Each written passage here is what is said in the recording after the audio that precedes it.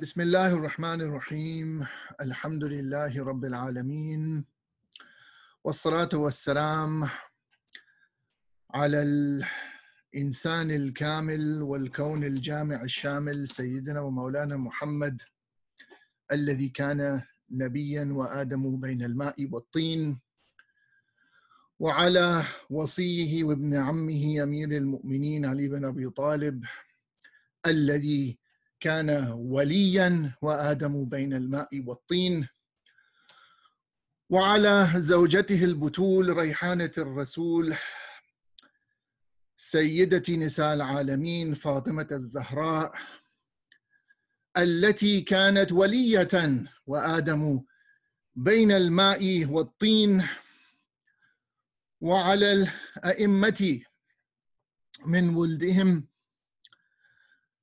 الذين كانوا انوارا بعرش الله محدقين وادموا بين الماء والطين وبعد Today we will um, begin our discussion of Al-Faqrat al-Sadisa or paragraph 6 from the Kitab Al-Mashair of Sadr al-Din al-Shirazi Mullah Sadra.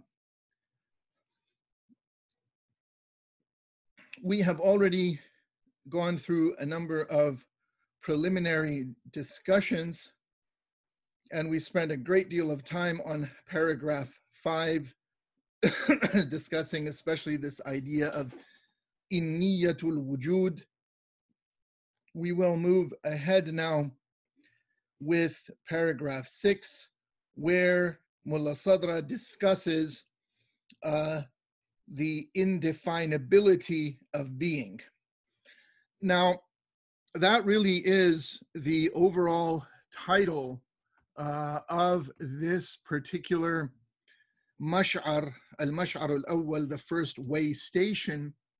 In other words, the first way station in, or the first way station establishing that e it being or we could even translate it theologically he if we take it as absolute being god allah subhanahu wa ta'ala is not in need of definition. So paragraph 5 really is more of a mm, by way of introducing this notion of the indefinability of being by indicating that the notion of being the mafhum al-wujud is uh, already known by people. That it's أغنى الأشياء عن التعريف. It is the least of things in need of definition. In other words, everyone possesses a certain minimal metaphysical intuition, an innate knowledge or knowing of what is meant by the term wujud by the term existence, by the term being, and what is indicated by the to be verb in English, uh, you know, by is, was, etc. And it's only now in the sixth paragraph where he really gets into the notion of why it is not definable. So let us read that. Paragraph six. وأما أنه لا يمكن تعريفه فلأن التعريف إما أن يكون بحد أو برسم ولا يمكن تعريفه بالحد حيث لا جنس له ولا فصل له فلا حد له. ولا بالرسم إذ لا يمكن إدراكه بما هو أظهر منه وأشهر ولا بصورة مساوية له End of the paragraph. As for the impossibility of defining it, this is because a definition is given either as a logical designation, that's my rendering of had, or a description, rasm. Now I'll explain why I chose designation after I finish just the translation. ولا يمكن تعريفه بالحد. It is neither possible to define it in the form of a logical designation, a had, since having no genus and no specific difference, or we could say, since having neither genus nor specific difference, that's al jins wal fasl, it cannot have a logical designation nor in the form of a description that would be rasm, for it cannot be grasped through that which is clearer and more well known than it, or through a concept which is equivalent to it. وَلَا بِصُورَةٍ مُسَاوِيَةٍ لَهُ So why did I choose designation rather than definition for translating um, the word had simply because typically in Islamic logic books, the treatment of definition is designated by the term at-ta'rif. And then under at-ta'rif, we have aqsam. So for example, just to refer to the most um, widely read and studied classical work of Islamic logic, even though it's written in modern times, at least in the Shia seminaries, the Hawzat, that would be, of course, the Mantiq of al-Muzaffar. We have the section Aqsam wa Ta'rif. Now, there are many editions, so I'm not going to bother quoting page and number, but uh, this is all um, easily accessible through any edition. You refer to the table of contents, and so it comes under Aqsam wa Ta'rif, the types of definition. And so a ta'rif, haddun wa rasmun. So definition is either logical designation or description, had and rasm. So I chose designation rather than definition because definition is, is in turn its own category or let's say genus. And under that we have had and rasm. Um, now, to actually be fair, there's also a kind of um, in English, maybe, maybe we might say a working definition, a colloquial definition, or an imprecise definition, which is a ta'rif al-lafzi. And we're not really concerned with a ta'rif al-lafzi, but typically what you will find is that you can't give a definition in the sense of designation or description of wujud by uh, employing what needs to be employed there, genus and species and so forth. And so what you end up doing is coming up with things or locutions, phrases, which might be more familiar to the person that you're talking to. And that's called a ta'rif al-lafzi, where you just, um, you know, come up with uh, a, you know, we could call it a lexical definition, um, where you are simply exchanging one set of words for another, uh, and that set of words which you are exchanging for the other is presumably more familiar to the one, to the person being addressed. So you have to remember that in logic, if you recall your studies of logic, if you haven't studied logic, we have for ta'rif or definition, we have al-had wa rasm. Al-had is logical designation, rasm is description. And in turn, the had is al-had tam wal-had naqis. That is to say, a complete logical designation and an incomplete logical designation. And Similarly, we have a rasmut tam or rasmun naqis, or complete description and incomplete description. Al haddu tam, that is to say, the complete logical designation involves jins and fasl. In other words, genus and specific difference, al qaribain. In other words, the proximate species, uh, sorry, the proximate genus and specific difference and so you know that's the the the almost cliched al insan huwa haywanun natiq so haywan is the genus and natiq is the specific difference it's that thing which distinguishes it from everything else under the genus of animal rational animal the animal that possesses rationality and speech al hadd naqis means that you will have what's called al fasl al qarib the proximate specific difference at the very minimum. Um, so you might say that define a human being, what you would use natiq as the specific difference, rational, but instead of animal, you would have, um, you know, a a a, uh, a body, a physical body which grows, etc. Jismun namin mutaharrikin, etc. And then you would add a natiq.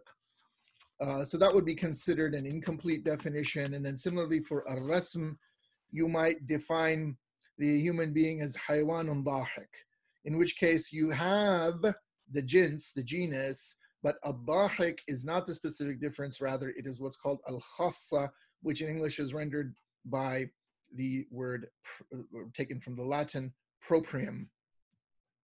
Finally, a rasmun naqis, you have at least the khassa. Yeah, you could drop the genus, and in that case, if we were defining insan, we would just say dahikun. Of course, that does not include, exclude the typical example they bring in is the hyena, and therefore it is an incomplete description. So this is just a quick review of the terms from logic, ideas from logic, which of course you can find in uh, Mantiq al-Mudaffar, and this is a very good edition uh, with the commentaries of Ra'id, um, the glosses of um, سيد رائد الحيدري known as المقرر في توضيح منطق المظفر. Very well, so much for that. So wujud cannot be defined, existence cannot be defined because it is the most general of things. It doesn't have a genus. And uh, therefore, it has no specific difference. It has no proprium. It has no common accident. It has no species it doesn't have any of those things which are involved in ta'rif.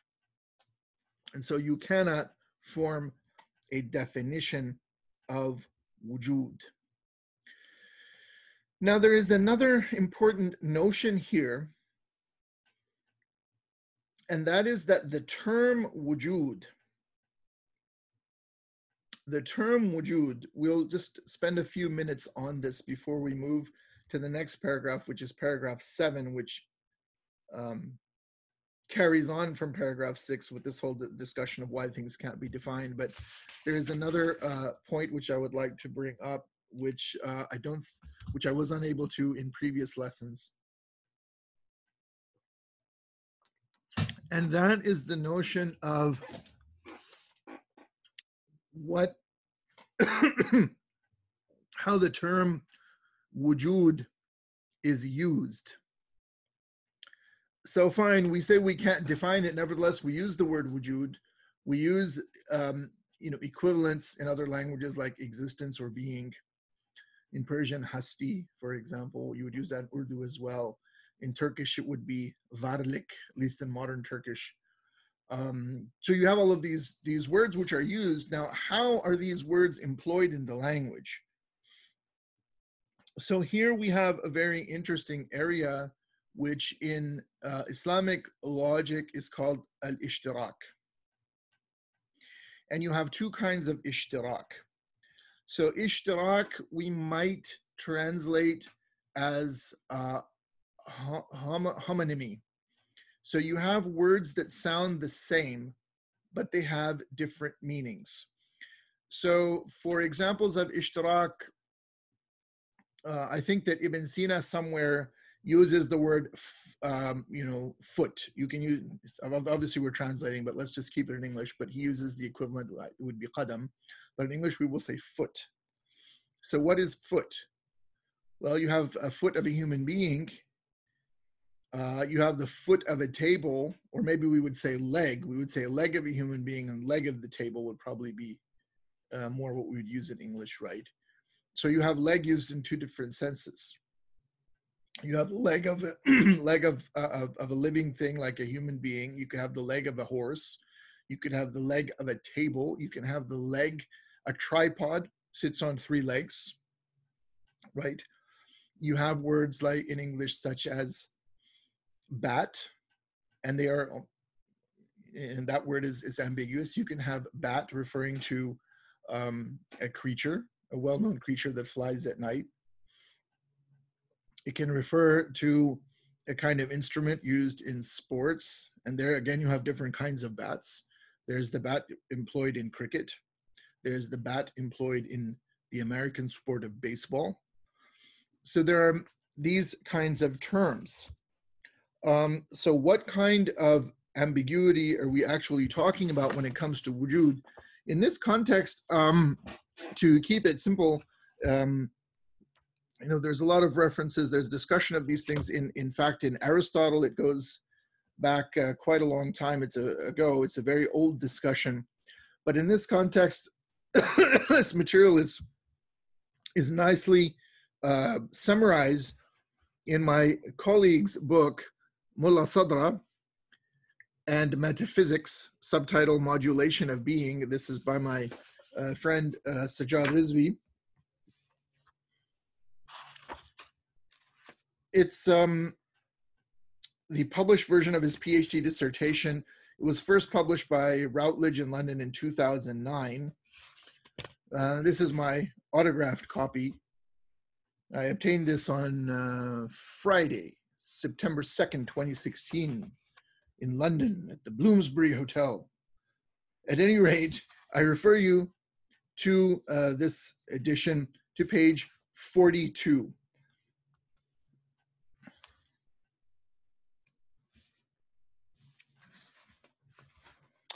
Uh, correction. I refer you to page 47. We might go back to 42 after this. Excuse me. So we want to look at how the term wujud is applied. In logic, we would say, what is the extension, extension, E-X-T-N-S-I-O-N, of the term being or the term wujud. So ishtirak, this kind of homonymy,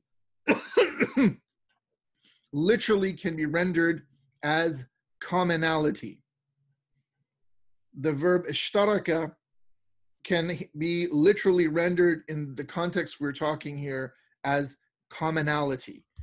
So at the bottom of page 47, under the uh, boldface heading of the extension of being and a question of theology,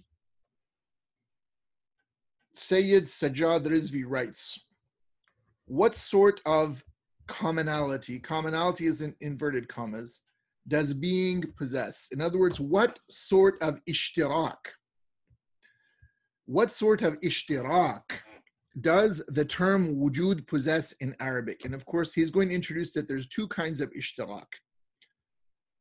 If you're familiar with logic, again, we can refer you to the to uh, uh, Mantiq al-Muzaffar.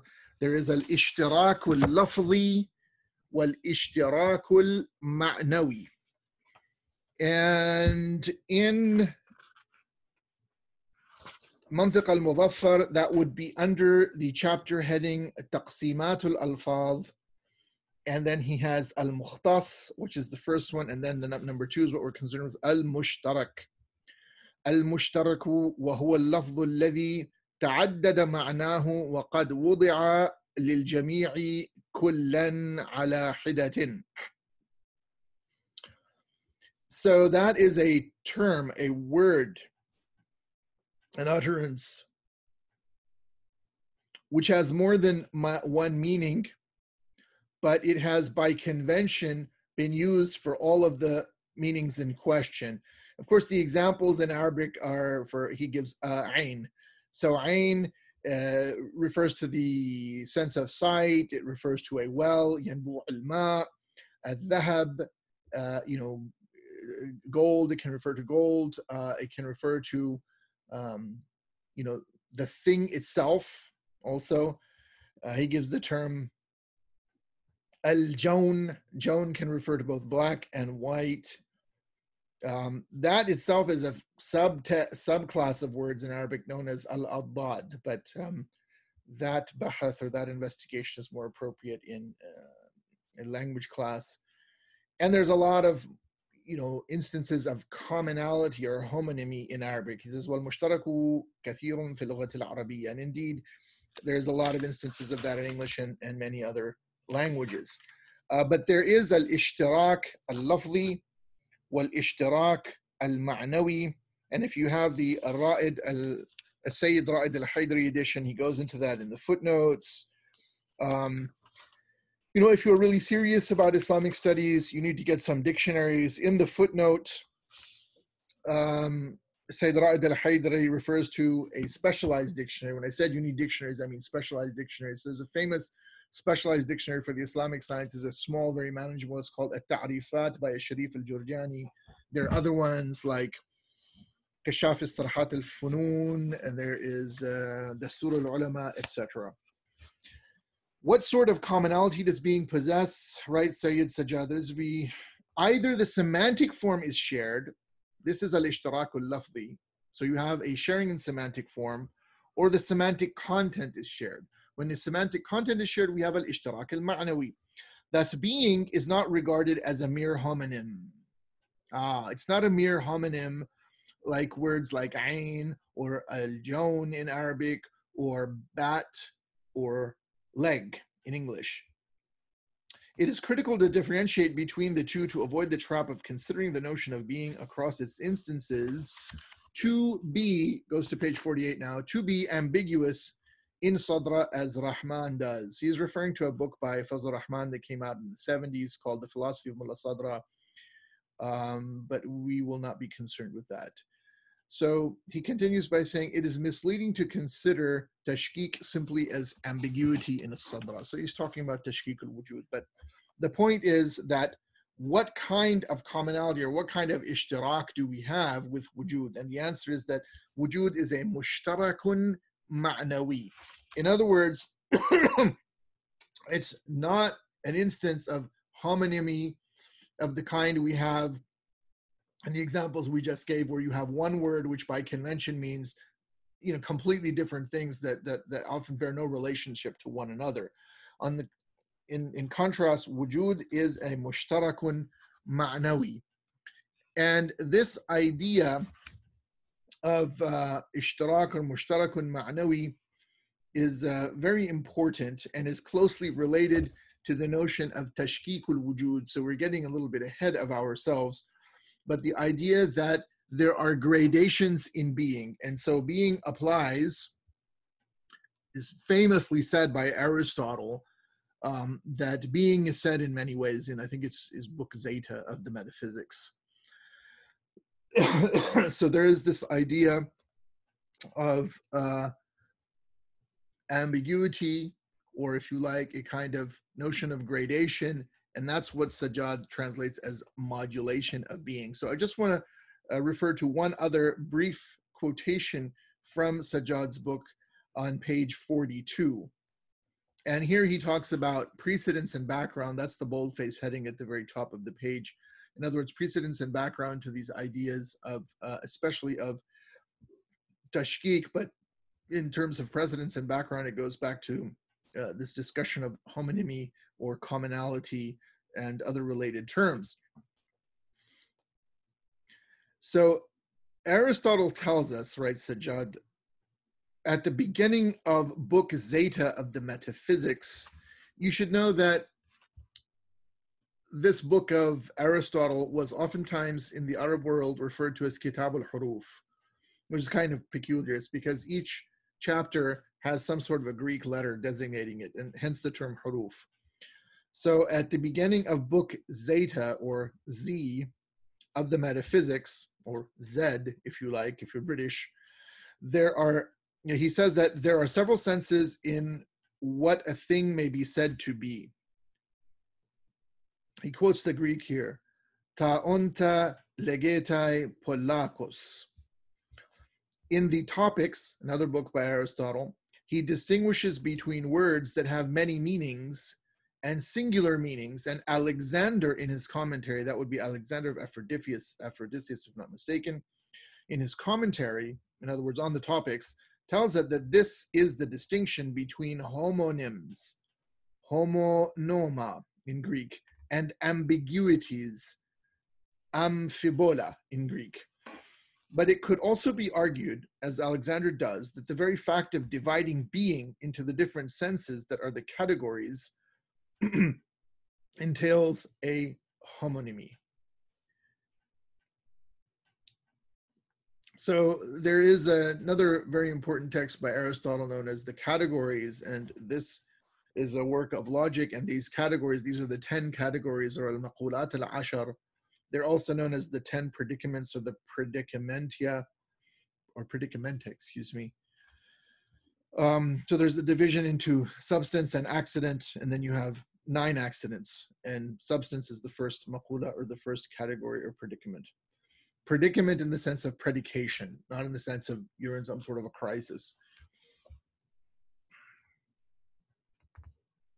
Uh, so let's go a sentence or two forward in this paragraph. He says, the first significant philosopher in the Islamic tradition, Abu Nasr al-Farabi, follows uh, this with a threefold scheme of the homonymy of being.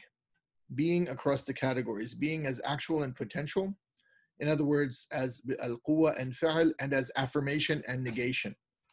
in a logical uh, proposition, in other words, a To be sure, the early history of homonymy in the Hellenic tradition was a meditation upon the functions and meaning of the theory of categories.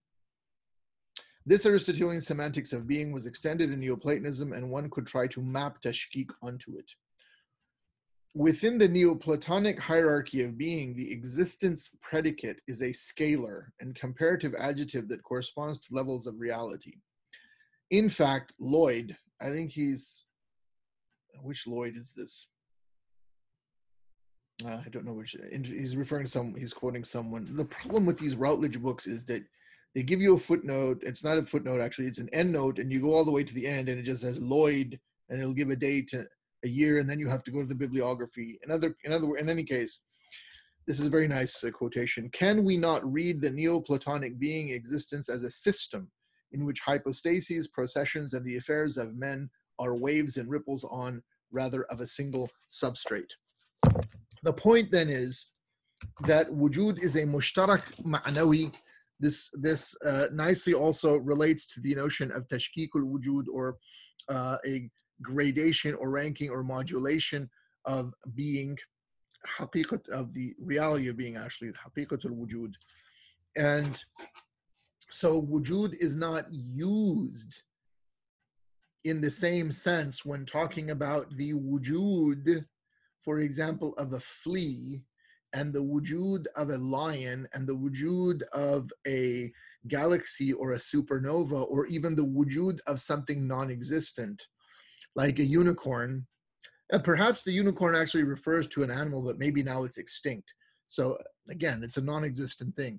Uh, the wujud of uh, zebras the wujud of um, um, the uh, tyrannosaurus rex uh, the wujud of something you just dream up in your mind, the wujud of the characters in uh, Frank Herbert's Dune. I don't know. So wujud, you know, applies across the board to all sorts of things, to things that exist, to things that don't exist, things that only have mental existence, imaginary entities, impossible entities. So wujud is used in many, many different ways and it's the same term. Wujud wujud wujud existence existence existence being being being used in all of those but it doesn't apply in the same way. And so it is what we would call a mushtarakun ma'nawi. Mushtarakun ma'nawi. In other words there is a shared semantic content and that's it. Um, and that semantic content even that is shared is uh, is quite different from one instance to another. Very well. Moving then on to paragraph seven, where the indefinability of being is further is further discussed and elaborated upon. He says, فمن رام تعريفه فقد اخطا اذ قد عرفه بما هو اخفى منه. اللهم الا ان يريد تنبيها واخطارا بالبال وبالجمله تعريفا لفظيا. End of paragraph 7 thus he that pines for a definition of it he that pines for a definition of it, in other words, a definition, one who longs for a definition of wujud has fallen into error, for he has defined it with that which is even more obscure than it.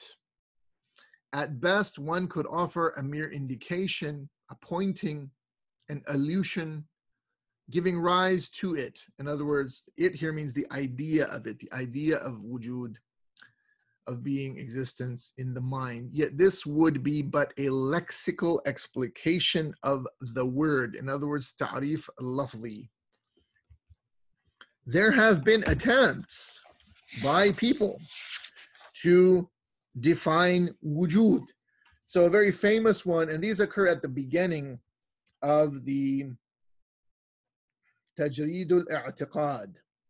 Wujud is the established in itself. الوجود هو الثابت العين and then al-adam would become al-manfi al-ain that which is negated in itself but these are circular definitions they don't really get you anywhere they are at best as he said ex- explications of of the word or explication of the mere word of the mere term um, these are nicely collected together in one place um, in Jalaluddin Ashtiani's Persian study, Hasti as Nazar Falsafe or Irfan, existence or being from the point of view of philosophy, and Irfan, Gnosis, uh, in Fasl Duvum Dar Bayan Wujud, in clarification of what it means to define being. So he has these quoted here he gives another reference. You know some people have said that wujud may be defined he translates it into persian saying wujud on ast ki bishavad az u khabardad in other words al wujudu ma yumkinul al ikhbar anhu.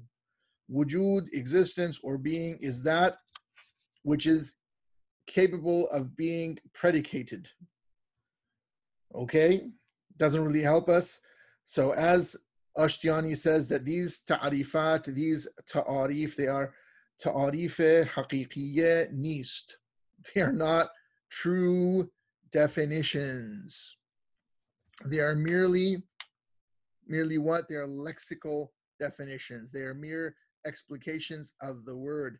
بلکه تعریف در این موارد تعریف لفظی است. So the point is that wujud impresses itself upon the human mind without the mediation of any other concept, without the mediation of any other concept whatsoever. And there's a famous quotation there's a famous passage, it's a really long one. Ashtiani quotes the whole thing. It's from the Kitab al-Shifa of Ibn Sina, the Ilahiyat section, the metaphysics of Ibn Sina. If I'm not mistaken, it's in Fasl number five. Um, yeah, it is Fasl Panjum, it says here. In which he says, Innal mawjuda wa shay'a والضروري معانيها ترتسم في النفس ارتساما أوليا. Um, we're fortunate that we have a translation by Michael E. Marmura. Mm, this was certainly covered in my lectures on the Shifa, which are on YouTube over Al Maqalat al Ula, the first discourse, or what he calls Book One. So he says the ideas, here he says ideas for ma'aniha, the ideas of the existent, the thing, and the necessary are impressed in the soul in a primary way. Very true. So again, there's this notion of the badahatul wujud, that uh, it is impossible to to define being and any um, attempts, regardless of how um, ingenious they may be, at best result in lexical definitions, mere explications of the word. And uh, in fact, they don't even qualify there because if you have a ta'rif lafdi, then presumably you say some word which is more familiar to the person. so الثابت العين or المنفي العين in the case of Adam is not exactly more familiar to people. Uh, as is the case with al-wujudu ma yumkin al-ikhbar anhu. So these are just ultimately circuitous locutions, circular definitions, which really don't get you anywhere. There is a very small point here, though. uh, Ibn Sina says "innal mawjuda." He says the existent. He doesn't say the existence, and I think that's a, um, an important difference. he's talking about existing things. In other words, he's really what he's saying is that the the the, the notion that a thing exists. Uh, so he's not really talking about wujud existence, but the notion of a thing exi- uh, existing, an existent thing. Now that's a very fine distinction, but it is an important one. Um, so there is a difference between al-mawjud, an existent entity, and al-wujud, existence itself.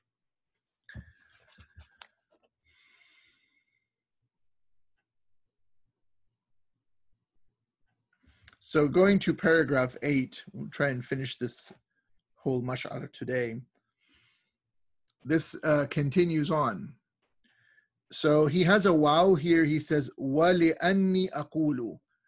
So that's like a moreover in English, we would say, you know, moreover, ولأني أقول أن تصور الشيء ولأني أقول أن تصور الشيء or even إني إن إن تصور الشيء would probably also work مطلقا عبارة عن حصول معناه. Now, if you actually have the original Korban edition, there's some sort of a smudge here, and, and it looks like there's a dot above the sod that can't be, it can't be hudul. It's husul. But if you have the Nasr edition, it should be clean.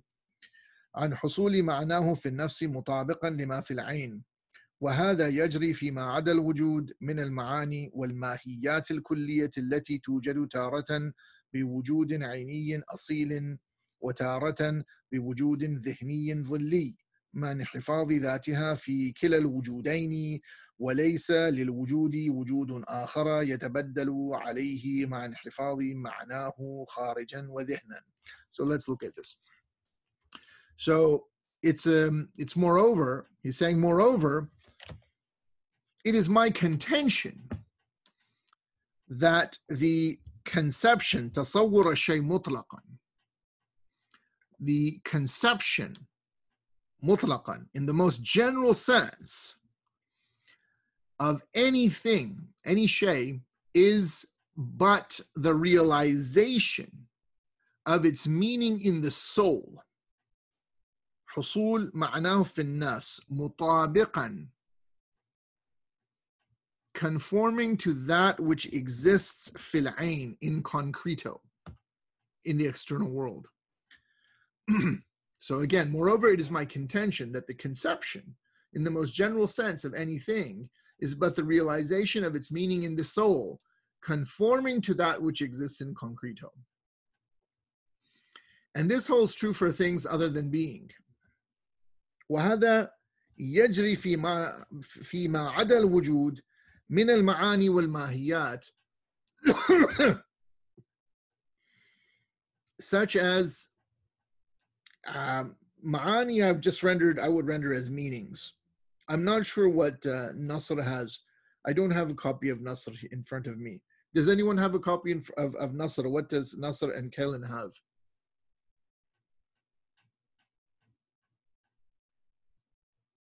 Okay, well, if someone if someone can uh, has a copy and they can chime in at any time. So I would just say meanings, well, mahiyatul kulliya and universal quiddities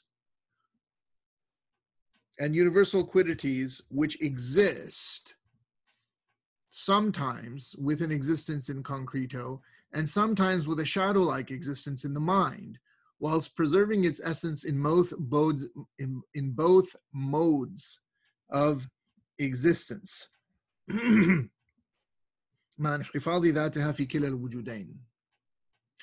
Being has no other existence with which it can be exchanged whilst preserving its meaning in concreto and in the mind. Well, this is a very interesting paragraph because here he's getting into a another very important uh, distinction in wujud. And I already gave some examples of the how wujud is a mushtarakun ma'nawi, that it applies uh, to all sorts of instances of being. And we can also conceive of things that often exist only in the mind, or what he calls um, shadow-like existence. Yeah, he says wujud dhihni dhilli, a shadow-like existence in the mind. and sometimes you can have both. You can have the concept of a thing in your mind, but there's also an ex- thing in the external world. But you can also conceive of imaginary things, uh, which which only have a mental kind of existence, like the characters in a fictional work the characters, the plot, the whole scenario, uh, you know, the entire fictional story of say something like um, Bleak House by by Dickens, a very nice novel, uh, for example, or uh, entirely fictional things like um, they often give the example of the anqa, the you know the, the griffin, this flaming bird, or also known as the phoenix, or a unicorn, or you know even some you know some fictional creature completely fictional, invented by people like the sandworms on the planet Arrakis in Dune, for example, or uh, you know the creatures on planet Vulcan in Star Trek, a much earlier era of science fiction. But you get the idea. So these things have only a mental existence. They don't really have any external effects. And so there is a very important distinction to be made between al-wujud al-aini al-khariji and al-wujud al-dhihni. In other words, existence in concreto and existence in the mind.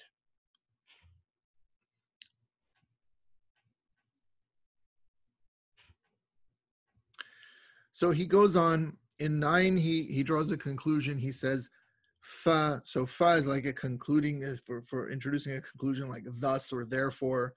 فليس لكل حقيقة فليس لكل حقيقة وجودية إلا نحو واحد من الحصول. Thus, each ontic reality has but one mode of actualization. فليس للوجود وجود ذهني وما ليس له وجود ذهني فليس بكلي ولا جزئي ولا عام ولا ولا ولا خاص Thus, each ontic reality has but one mode of actualization. The reality of being, that's what he really means here. He says, فَلَيْسَ لِلْوُجُودِ means حقيقة الوجود, has no mental existence. And that which has no mental existence can be neither universal nor particular nor general nor specific. فهو من ذاته, this is paragraph 10. فهو من ذاته امر بسيط متشخص بذاته لا جنس له ولا فصل له for in its essence it namely existence namely being wujud is a simple thing individuated by its essence having neither genus nor specific difference لا جنس له ولا فصل له ولا هو أيضا جنس لشيء ولا فصل له ولا نوع ولا عرض عام ولا خاصة nor also does it constitute, nor also does wujud, does being, does existence constitute for any other thing a genus, or a specific difference, or a species, or a common accident, or proprium. وأما الذي excuse me وأما الذي يقال له عرضي للموجودات من المعنى الانتزاعي الذهني As for that which is spoken of as being accidental to existing things, it is one of the mental abstract notions, and thus it cannot constitute the reality of being. فليس هو حقيقة الوجود بل هو معنى ذهني rather it is but a mental notion. من المعقولات الثانية. An instance of a secondary intelligible. كالشيئية والممكنية والجوهرية والعرضية والإنسانية والسوادية وسائر الانتزاعات المصدرية. So it is ra- rather it is but a mental notion, an instance of a secondary intelligible, such as thingness, such as contingency, such as substantiality, such as accidentality, such as humanity, such as blackness, and all other abstract infinitives which are employed in reference to things both real and unreal التي يقع بها الحكاية or تقع بها الحكاية عن الاشياء الحقيقيه أو غير الحقيقيه وكلامنا ليس فيه بل المحكي عنه وهو حقيقة واحدة بسيطة. Our concern is not with these, with these secondary intelligibles, but with that which is a unique, simple reality لا يفتقر أصلا في تحققه وتحصله إلى ضميمه قيد فصلي أو عرضي صنفي أو شخصي. Our concern, كلامنا, is not with these, but with that which is a unique, simple reality. حقيقة واحدة بسيطة, which for its realization for its tahakkuk is not, which for its realization and actualization, primarily and essentially, in no way is in need of additional delimitation, damimat qaid, by way of a specific difference, qaid and fasli, or accident, or aradi, whether the latter be either of a class, sinfi or shakhsi, or of an individual. So again, he's elaborating further, I think in very, very beautiful and very concise and very elegant, uh, very beautiful and very concise and elegant construction in Arabic. It's a beautifully crafted paragraph of how wujud is not capable of being defined. And the concluding paragraph of Al-Mash'ar al-Awwal, paragraph 11, says, continuing on with this argument, بل قد يلزمه هذه الأشياء بحسب ما يتحصل به ويوجد من المعاني والماهيات Rather, these things are necessarily concomitant to being, in accordance with that which is actualized by being. In terms of meanings and quiddities, min al ma'ani wal mahiyat. إذ إذ إذ كل وجود إذ كل وجود سوى الوجود الأول البسيط الذي هو نور الأنوار يلزمه ماهية ماهية كلية إمكانية تتصف بهذه الأوصاف باعتبار حصولها في الأذهان فيصير جنسا أو فصلا أو ذاتيا أو عرضيا أو حدا أو رسما أو غير ذلك من صفات المفهومات الكلية دون الوجود.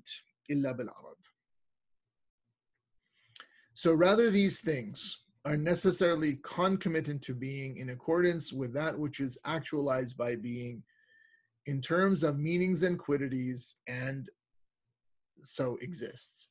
For necessarily concomitant to all that exists, with the exception of the first simple being al-wujud al-basit al-awwal or al-wujud al-awwal al-basit, which is the light of lights, التي الذي هو نور الأنوار is universal contingent quiddity ما هي كلية إمكانية which is qualified by these qualifications in according to their occurrence or in accordance with their occurrence in the mind, becoming thereby in the mind a genus or a specific difference or a substance or an accident or a logical definition or a description or some other qualification of universal notions except for being دون الوجود which is thus qualified only accidentally so that brings us to the end of the first mash'ar. Um, there is a lot of information there. You should uh, look over it in Arabic carefully. Should look at the translation. And next time we will look at al-mash'ar al-thani, which is في كيفية شموله للأشياء. In other words, it's devoted to how um, or in what way, in what sense we can say that wujud encompasses um, all things. Shumul is the term in Arabic. Um, so if we have any questions, we can deal with those questions now. Otherwise, that concludes today's uh, lesson. So I'll give it a minute or two if anyone wants to chime in with any questions.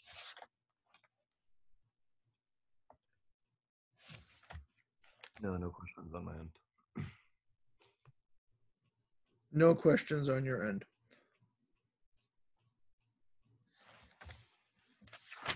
Okay, so then next time, as I said, we will look at the comprehensiveness of the reality of being. That's al-mash'ar al-thani fi kayfiyati shumulihi lil-ashya.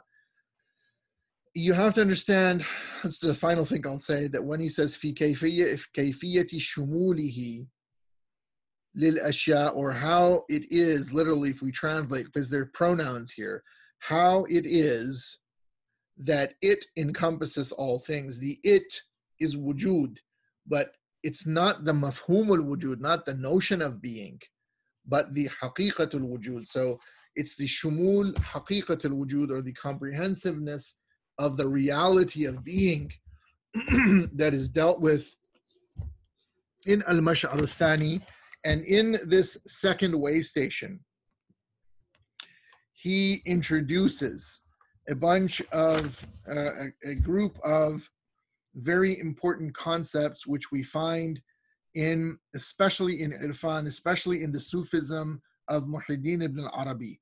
And they are An-Nafasul Rahmani, the breath of the infinitely compassionate or the all merciful.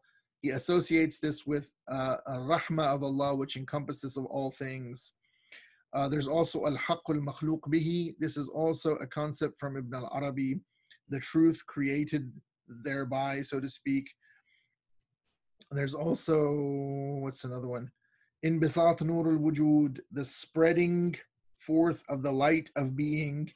That's also a kind of Ishraqi concept.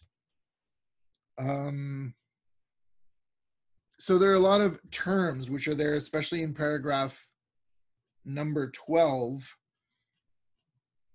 It would be worth your while to uh, look those up in uh, Sufi writings and see what you find there. That would be instructive for next time. But we will um, discuss these one by one the next time we meet, inshallah. So thank you very much for tuning in. Thank you for following these lectures.